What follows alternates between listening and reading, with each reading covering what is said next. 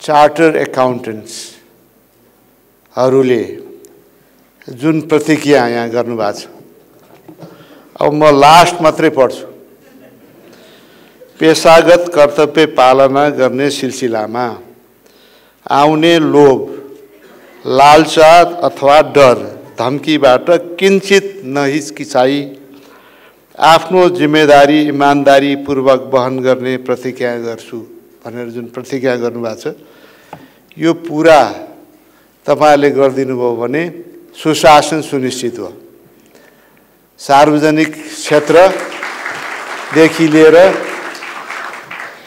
निजी क्षेत्र समेत हामी जुन अहिले कतिौँमा छौँ अझै भनेर आइरहेछ रिपोर्ट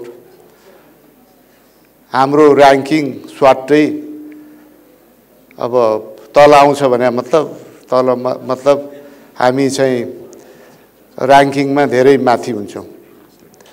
त्यस कारण यति अरू पनि सम्झिनु पर्दैन अरू प्रतिज्ञा। यति सम्झिदिएपछि धेरै कुरा सुध्रिन्छ भन्ने मलाई लाग्छ। अब हाम्रो चाहिँ लेखा परीक्षण गर्ने लेखा लेखाले लेखा लेख्ने एकाउन्ट एकाउन्ट राख्ने र त्यसको परीक्षण गर्ने तपाईँहरू। र यो दुईवटा ठाउँमा ठिक हुने बित्तिकै धेरै कुरा ठिक ठाउँमा आउँछ। ठिक नहुनेहरू पनि ठिक ठाउँमा आइहाल्छ अब महालेखा परीक्षकज्यूले निमित्त महालेखा परीक्षकज्यूले यो बेरुजुको कुराहरू गर्नुभएको छ। त्यो वर्षौँदेखि पाइलअप भइराखेको छ। यद्यपि मैले पहिला पनि यो उल्लेख गरेका थिएँ।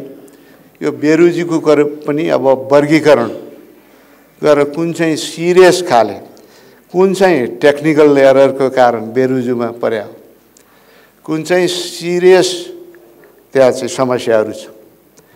त्यसको आधारमा त्यो पहिलो सबभन्दा सिरियस क्याटेगोरीलाई चाहिँ हेड अन हामीले चाहिँ कन्फ्रन्ट गर्नुपर्ने आवश्यकता छ।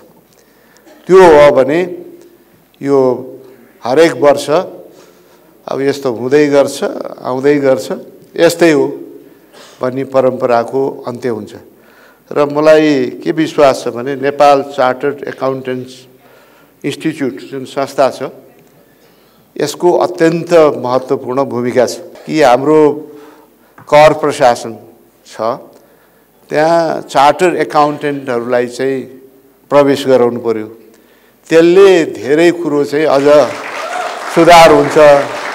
भन्नुभएको छ। त्यसलाई म गम्भीरताका साथ लिन्छु कसरी त्यो गर्न सकिन्छ भन्ने बारेमा। किनकि हिसाब किताब नै ठिक। पहिला त अनेस्टी हुनु पऱ्यो समर्पण हुनु पऱ्यो म जे गर्दैछु ठिक मात्रै गर्छु। अरू चिज गर्दिनँ। र दोस्रो जान्नु पनि पऱ्यो